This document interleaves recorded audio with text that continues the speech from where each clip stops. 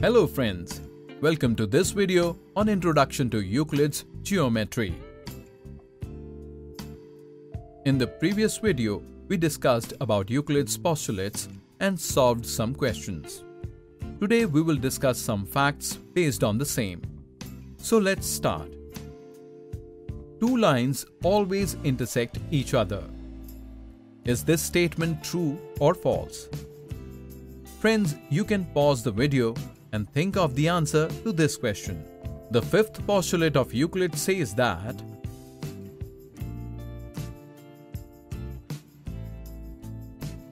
if a straight line falling on two straight lines makes the interior angles on the same side of it and if the sum of angles is 180 degree that is two right angles then the two straight lines will be parallel to each other and if the sum of interior angles is less or greater than 180 degree, then the lines will be intersected.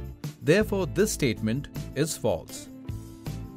If the right angle triangle ABC is also an isosceles triangle, and the right angle triangle PQR is also a scalene triangle, then angle ABC will be equal to angle PQR. Is the given statement true or false? Friends, look at this question carefully. Here, the focus is not on the sides but on the angles. If you remember the fourth postulate of Euclid, two right angles are equal to one another.